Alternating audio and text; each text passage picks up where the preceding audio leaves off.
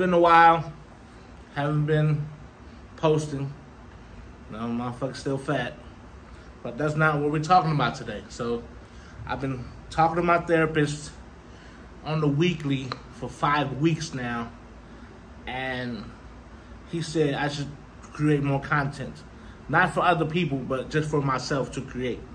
So I'm back. Um, this one is called my first AA meeting because I went to an Alcoholic Anonymous meeting. They made me buy this book because they thought I was going to join. I don't think about quitting drinking, but just need to slow my ass down and be disciplined. I was scared to go, man. You know, it's hard, very difficult to do something on your own and showing up where they're all strangers and a lot of them know each other because uh, that's their supportive environment. And the reason for going to AA was to be around supportive environment in a non-judgmental uh, circle, peer group, and just to you know, my therapist said go check it out, so I went to check it out. Similar to what you see in the movie, I went in, a big desk in the front, rows of seats. I was the first one. I'm always early. I was 30 minutes early. I sat there, and people started coming in. There were about 12 people in there, and there were other people on Zoom too.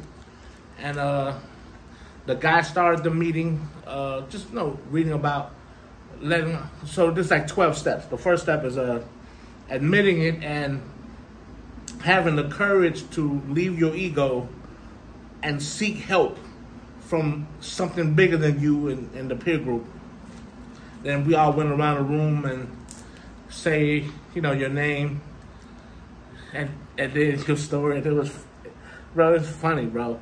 I, I actually do. I was like, my name is Ying, and I'm an alcoholic. And then people in the room was like, hey, Ying.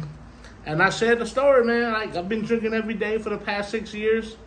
Uh, we haven't gotten the root of it. I lost my mojo in life. I gained all my weight back, and just been lost, bro. Like just just don't have any purpose. Like paying bills and trying to just keep stay afloat. That ain't that's not living, man. It's part of it, but it's not living. So I went to the AA meeting, man, but those stories, bro, like people really go through it, man. And I know a lot of cocky people, man, that comes in and then I cut their hair, and I know the real them. That ain't even them.